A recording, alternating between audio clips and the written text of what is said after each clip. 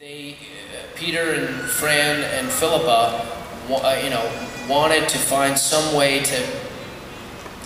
I mean, the whole movie is about good versus evil. The whole story, the whole book, is about the nature of good and evil.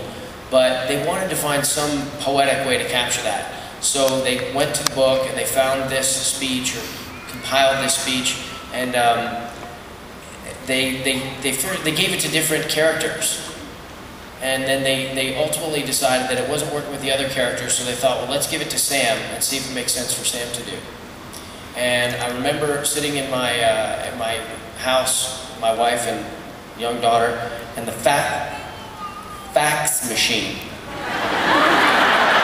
fax machine.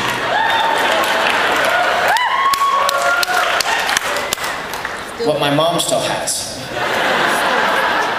Facsimile. Um, it rolls up and it goes under and you can't, and you can't. So anyhow, I came through the fax machine and I read this scene and I just thought, you know, it's just one of the greatest things ever. So it's like in the great tales, Mr. Frodo, the ones that really mattered. Folk in those stories had lots of chances of turning back, only they didn't. They kept going. There's a whole lot of else, other stuff, but uh, because they were holding on to something. And then what does he say? What were they holding on to? Say it again. Yeah, I liked what she said. Uh, that there's some good left in this world, Mr. Frodo, and it's worth fighting for. So, there you go.